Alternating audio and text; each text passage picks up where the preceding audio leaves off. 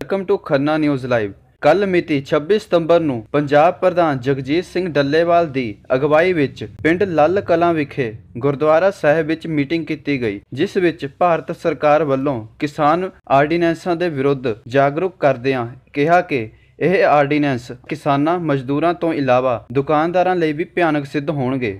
ਇਸ ਆਰਡੀਨੈਂਸ ਦੇ ਆਉਣ ਨਾਲ ਵਪਾਰੀ ਵਰਗ ਕਿਸਾਨਾਂ ਦੀ ਲੁੱਟ ਤੇ ਸ਼ੋਸ਼ਣ ਹੋਵੇਗਾ। ਇਸ ਸੰਬੰਧੀ ਭਾਰਤੀ ਕਿਸਾਨ ਯੂਨੀਅਨ ਨੇ ਪਿੰਡ-ਪਿੰਡ ਇਕੱਠੇ ਹੋ ਕੇ ਲੋਕਾਂ ਨੂੰ ਜਾਗਰੂਕ ਕਰਨ ਲਈ ਮੀਟਿੰਗ ਕੀਤੀ। ਇਸ ਮੀਟਿੰਗ ਵਿੱਚ ਕਈ ਨਾਮੀ ਸ਼ਖਸੀਅਤਾਂ, ਜਗਜੀਤ ਸਿੰਘ ਡੱਲੇਵਾਲ ਸੂਬਾ ਪ੍ਰਧਾਨ, ਮੇਹਰ ਸਿੰਘ ਖੇੜੀ ਸੂਬਾ ਮੀਤ ਪ੍ਰਧਾਨ, ਜਸਵੀਰ ਸਿੰਘ ਸਿੱਧੂਪੁਰ, ਪੰਜਾਬ ਸਕੱਤਰ, ਸੁਰਿੰਦਰ ਸਿੰਘ ਲੋਹਾਰੀ, ਜ਼ਿਲ੍ਹਾ ਸਕੱਤਰ ਫਤਿਹਗੜ੍ਹ ਸਾਹਿਬ, ਗੁਰਮੀਤ ਸਿੰਘ ਜ਼ਿਲ੍ਹਾ ਪ੍ਰਧਾਨ ਫਤਿਹਗੜ੍ਹ ਸਾਹਿਬ, ਬਲਵੀਰ ਸਿੰਘ ਜ਼ਿਲ੍ਹਾ ਮੀਤ ਪ੍ਰਧਾਨ ਲੁਧਿਆਣਾ, ਉੱਤਮ ਸਿੰਘ ਬਰਵਾਲੀ ਜ਼ਿਲ੍ਹਾ ਮੀਤ ਪ੍ਰਧਾਨ ਆਦ ਨਾਮੀ ਸ਼ਖਸੀਅਤਾਂ ਸ਼ਾਮਲ ਸਨ। ਟਰਾਂਸਪੋਰਟ ਚਾਰਜਸ ਉਹ ਪੈ ਗਏ। ਇਹਦੇ ਸਟੋਰੇਜ ਚਾਰਜਸ ਉਹ ਪੈ ਗਏ। ਉਹ ਸਾਰੇ ਪਾ ਕੇ ਇਹਨਾਂ ਨੇ ਸ਼ੋਅ ਕਰਨਾ ਕਿ ਇਹ ਮੈਨੂੰ 5000 ਨੂੰ ਕੁਇੰਟਲ ਪਈ ਹੈ।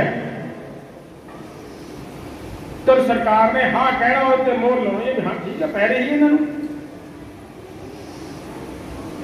ਉਹਦੇ ਉੱਪਰ ਡਬਲ ਫਿਰ ਉਹ ਲੈ ਹੀ ਸਕਦੇ ਆ। ਕਾਨੂੰਨ ਹੈ। ਸੋ ਇਸ ਕਰਕੇ ਮੇਰੇ ਦੋਸਤੋ, ਇਹ ਆਰਡੀਨੈਂਸ ਸਾਨੂੰ ਅੰਦਾਜ਼ਾ ਲਾਇਓ ਤਿੰਨੇ ਕਿਵੇਂ ਇੱਕ ਦੂਜੇ ਦੇ ਮਗਰ ਮਗਰ ਮਗਰ ਮਗਰ ਮਗਰ ਮਗਰ ਲਾ ਕੇ ਐ ਫਿੱਟ ਕਰਕੇ ਜਾਂਦੇ ਆ ਕਿ ਦੇਸ਼ ਦੀ ਫਸਲ ਪੈਦਾ ਕਰਨ ਵਾਲੀ ਪਾਪੂਲੇਸ਼ਨ ਲੋਕਾਂ ਨੂੰ ਵੀ ਲੁੱਟਿਆ ਜਾਵੇ ਔਰ ਇੱਥੋਂ ਦੇ ਖਾਣ ਵਾਲੇ ਲੋਕਾਂ ਨੂੰ, ਜਿਹੜੇ ਕੰਜ਼ੂਮਰ ਆ, ਉਹਨਾਂ ਨੂੰ ਵੀ ਕਿਵੇਂ ਲੁੱਟਿਆ ਜਾਵੇ, ਇਹਨਾਂ ਆਰਡੀਨੈਂਸਾਂ ਦੇ ਵਿੱਚ ਇਹ ਸਾਰੀ ਕਹਾਣੀ ਹੈ।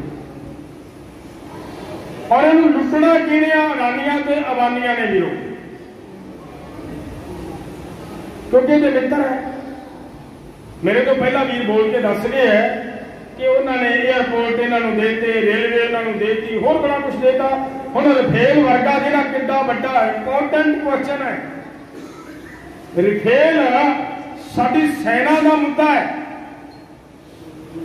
ਔਰ ਰਿਫੇਲ ਅੱਜ ਕੰਟਰੈਕਟ ਹੋ ਰਿਹਾ ਹੈ ਆਇਆ ਨਹੀਂ। ਸੌਦੇਬਾਜ਼ੀ ਹੋ ਰਹੀ ਹੈ ਭੂਸ਼ਣ ਬੰਸਲ ਦੀ ਖਾਸ ਰਿਪੋਰਟ।